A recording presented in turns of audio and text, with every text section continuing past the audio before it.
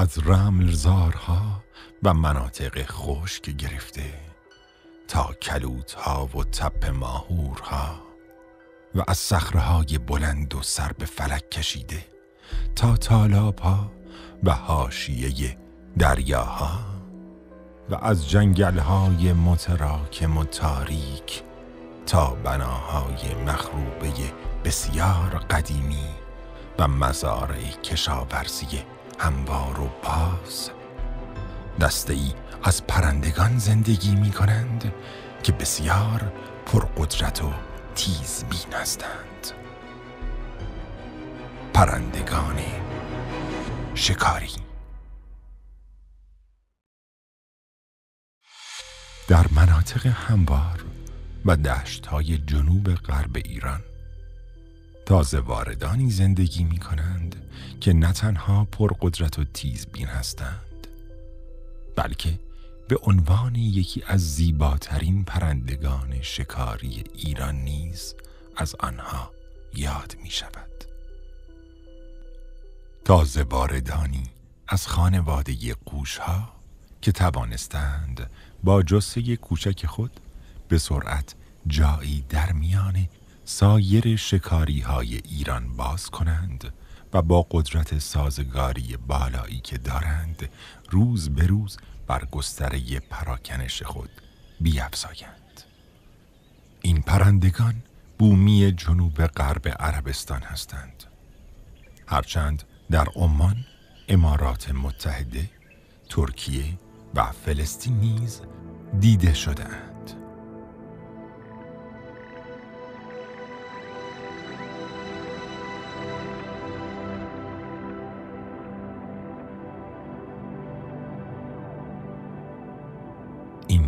پرندگان که به آنها کورکور بال سیاه گفته می شود مانند دریجه و برخی دیگر از پرندگان شکاری به هنگام شکار مدتها بالای سر تعمی خود که غالبا شامل پرندگان، خزندگان یا پستانداران کوچک است در جا بال می‌زنند و رفتار آنها را زیر نظر می‌گیرند.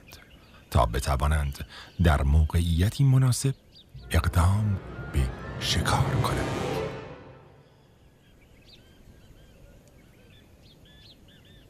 آنها پر و بالی خاکستری رنگ و چشمانی قرمز دارند و در طول روز می توان آنها را به دفعات در حین در جا بالزنی و یا نشسته بر روی تیرهای برق یا حسارهای حاشیه زمینهای کشاورزی مشاهده کرد.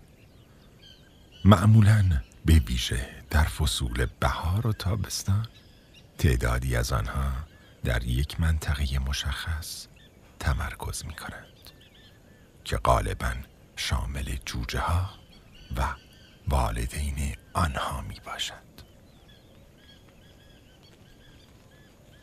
این پرندگان در قالب موارد ترجیح می دهند در مناطق همبارتر با پوشش گیاهی تنک که محلی برای تجمع انواع جوندگان است.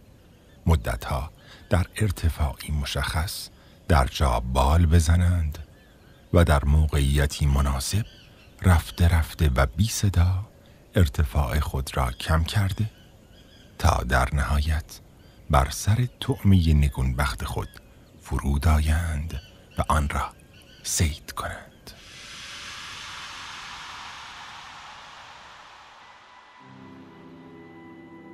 والدین به صورت مشترک تلاش می کنند تا از تعمه های شکار شده برای آموزش جوجه ها استفاده کنند. جوجه های همیشه گرسنه نیست به کنش والدین واکنش نشان می دهند تا در رقابتی فشرده با یکدیگر بتوانند جایزه خود را که همان تعمی شکار شده است به دست آورند. جوجه زرنگتر صاحب یک غذای لذیذ می شود و جوجه های بازمانده در حالی که با حسرت جوجه پیروز را می نگرند مجبورند بی صدا و آرام در کوشه ای به انتظار مسابقه ای دیگر بنشینند. هرچند که در طول روز هر کدام از جوجه ها به نوبت موفق خواهند شد تا در این کارزار پیروز شوند.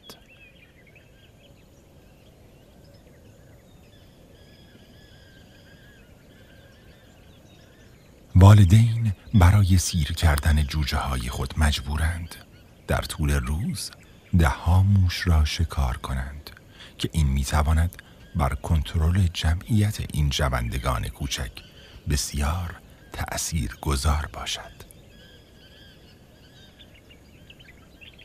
برخی موارد نیز جوجه ها خود شانسشان را برای شکار موش ها امتحان می کنند. هرچند آنها بی تجربه تر از آن هستند که بتوانند موفقیت چندانی به دست آورند. اما همین آزمون و خطا هاست که از آنها در آینده شکارچیان قهاری خواهد ساخت. البته این تلاش ها گاه موفقیت هایی را نیز برای آنها به دنبال خواهد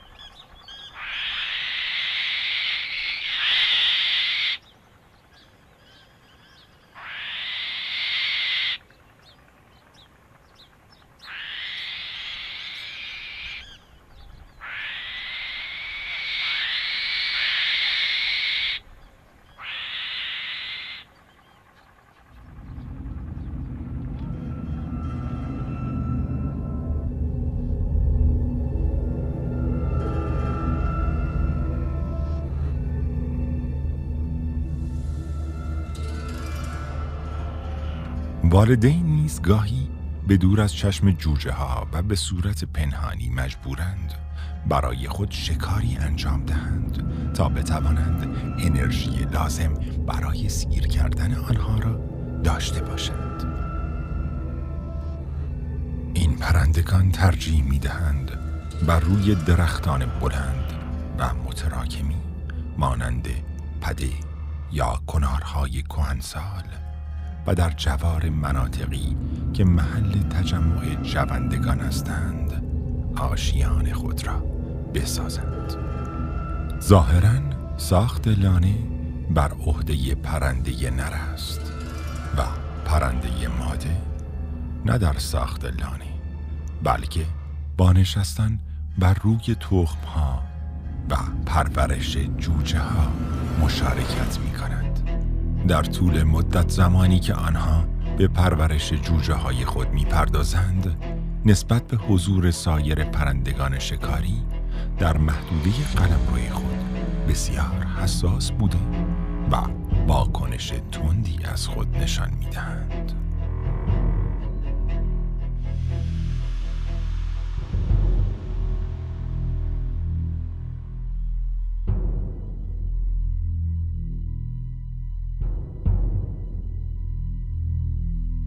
جوجه های جوان رنگی تیره تر از والدین دارند. آنها قهبی رنگ با چشمانی سیاه هستند. در حالی که والدین خاکستری رنگ با چشمانی قرمزند. آنها گاهی مدتها به انتظار غذایی می نشینند که والدین برای آنها می آورند و هرچه سن آنها بیشتر می شود انتظار برای به دست آوردن غذای مفت نیز بیشتر می شود و این یعنی زمان استقلال جوجه ها فرا رسیده است. این پرندگان تمام روز را تا غروب خورشید به تکاپو می پردازند و تلاش ها برای موفقیت در شکار و تغذیه جوجه ها بی تعلل ادامه پیدا می کند.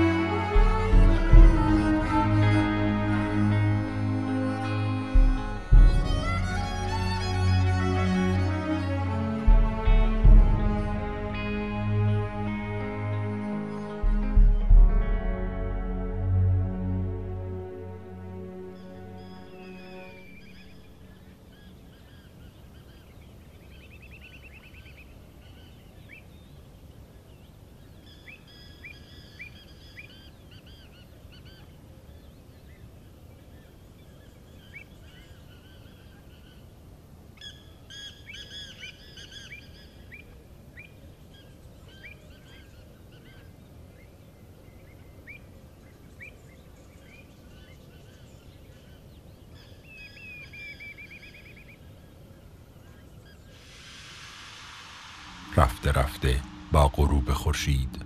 والدین جوجه های جوان خود را بادار می کنند تا دوباره بلانه برگردند. تا از آنجا صبحی دیگر و تکاپوی دیگر را آغاز کنند.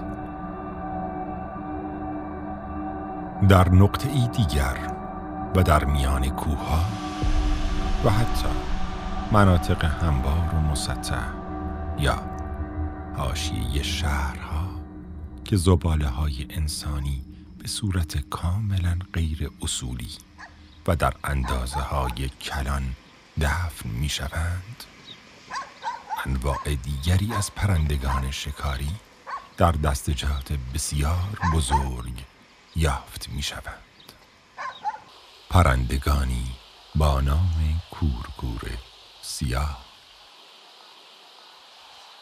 آنها به همراه کورکور حنایی تنها پرندگان شکاری ایران هستند که دارای دومی دو شاخه اند. پرواز بسیار سریعی دارند و بسیار پر سر و صدا هستند.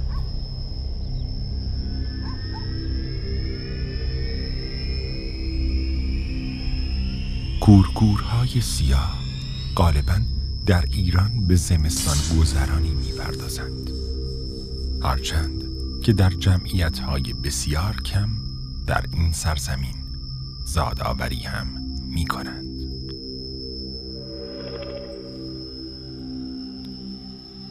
این پرندگان از کورکور بال سیاه بزرگترند. چشمانی تیره دارند و رنگ پر آنها قهوه‌ای مهمترین عاملی که منجر به تجمع آنها در این مکان شده زباله های انسانی است که گاه در وسعتی باور نکردنی بر روی هم تلمبار می شوند.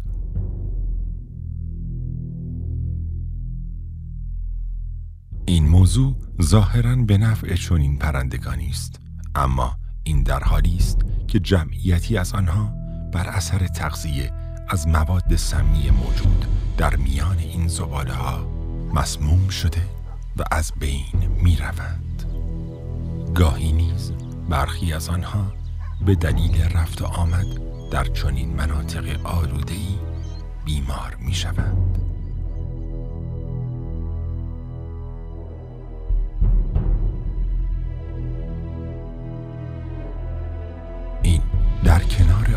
شدن آبهای زیرزمینی به واسطه شیرابه زباله هاست کورکورهای سیاه مانند سایر جانوران شکارچی فرصت طلب هستند و در صورت امکان این توانایی را دارند تا بتوانند ماهی ها، پستانداران کوچک، برخی پرندگان، خزندگان و حشرات را شکار کنند.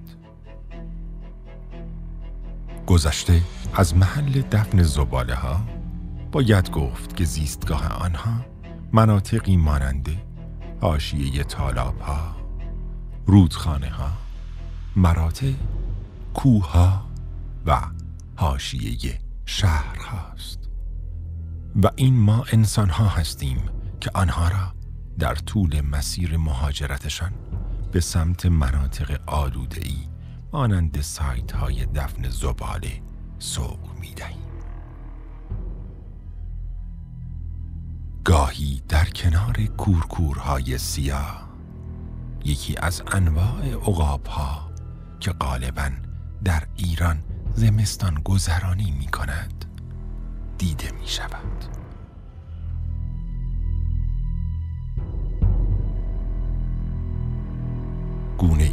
که در سطح جهانی برنامه های حفاظتی متعددی برای نجاتشان از خطر نابودی در حال اجراست. این پرندگان که به های استپی شهرند بزرگ جسه با بالهای پهن و بلند هستند. سری بزرگ و منقاری کلوفت و قدرتمند دارند. و معمولا بلند پروازند. این عقاب ها که در روسیه و منطقه قفقاز زادآوری می کنند روزگاری در ایران از جمعیت بسیار پایینی برخوردار بودند و دیدن آنها کار ساده ای نبود. اما طی چند سال اخیر به واسطه سوء مدیریت زباله های شهری تغییرات چشمگیری در پراکنش جمعیت این جانوران به وجود آمده است.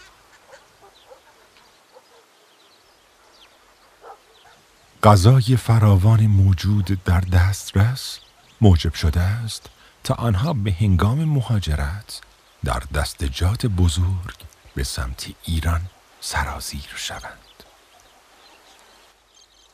در این مناطق تعدادی از آنها به واسطه مواد سمی موجود مسموم می شوند و از بین می روند و گاهی نیز به دلیل آلودگی شدید این مکانها بیمار شده و از چرخه حیات حذف می شوند.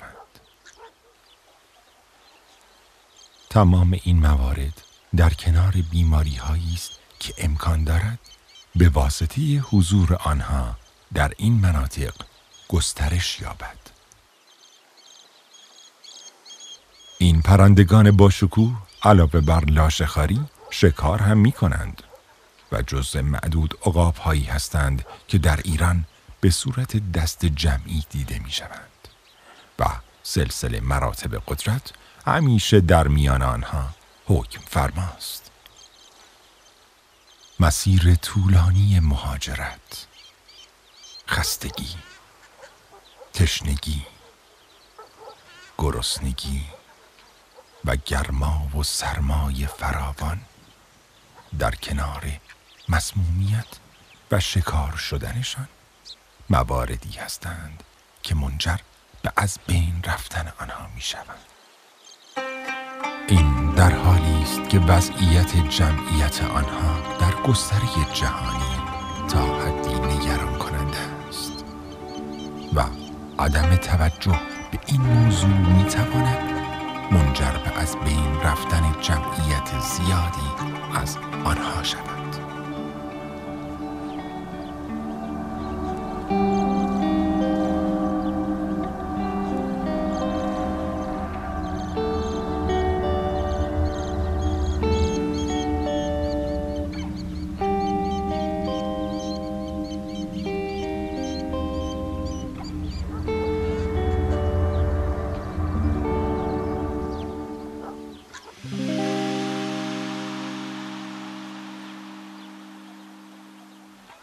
در زیستگاهی متفاوت تر گونه ای دیگر از پرندگان شکاری یافت می شود که ما آن را با نام سارگپه می شناسیم. آنها از عقاب ها کوچکتر و ظریفتر هستند. رنگ پربال در این پرندگان متنوع است و به رنگ های قهوه‌ای روشن تا تیره دیده می شوند. دشت ها و مراتع تا تپ ماهورها و حتی قسمت هایی از شهرها و روستاها در گستره قلمرو آنها قرار دارند.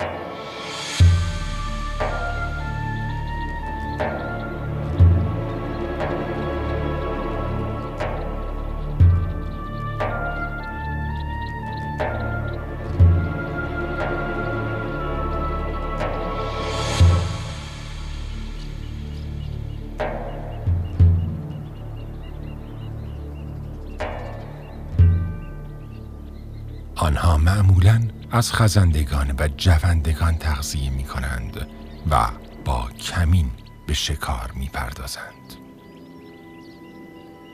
جمعیتی از این پرندگان مهاجرت های فصلی دارند به همین دلیل گاهی به ویژه در فصول سرد سال بیشتر دیده می شوند.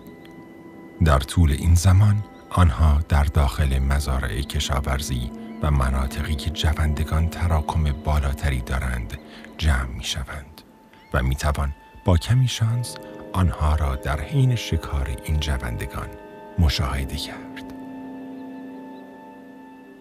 همزمان در زیستگاهی دیگر انواع متفاوت تری از پرندگان شکاری با بدنی باریک، پاهایی بلند و بالهایی کشیده دیده می شوند که به آنها سنقر می گویند.